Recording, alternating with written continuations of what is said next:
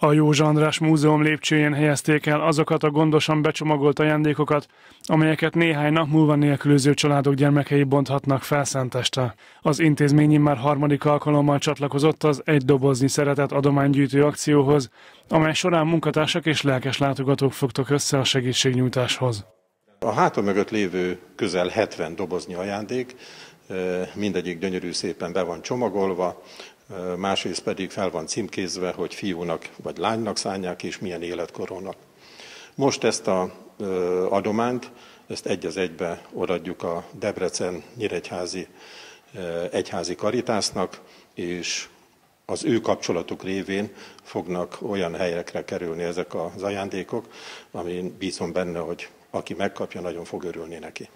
A múzeum folyamatosan kapcsolatban van az alapítványjal, így nem csak karácsonykor, hanem az év más időszakában is szerveznek segítségnyújtó akciókat.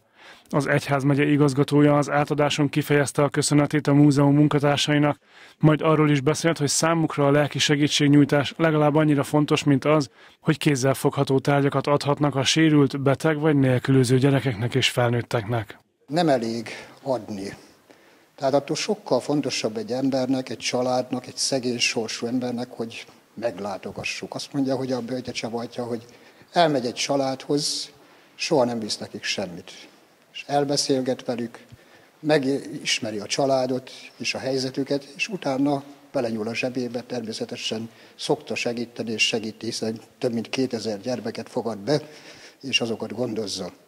Tehát a mi egyházmegyénkben is erre nagyon figyelünk, hogy mindig tudjunk segíteni, és erre is felhívtuk a figyelmet, hogy a karácsonynak nem ez a lényege. Tehát, hogy ott lesz a szép kis ajándék, amit innen is kapunk már három esztendeje a múzeumból. Tehát ez egy nagyon csodálatos dolog, mert tényleg valamelyik gyereknek, vagy sok családnak, gyereknek nem lesz más a fa alatt, csak ennyi. Mészáros László sajnálattal fejezte ki, hogy Szabolcs-Szatmár Bereg megyében továbbra is rengeteg gyerek szorul segítségre, annak ugyanakkor örül, hogy a társadalmi felelősségvállalás egyre erősebb az utóbbi időben. Mint mondta, rengeteg iskola, üzlet és szervezet fogott gyűjtőakcióba.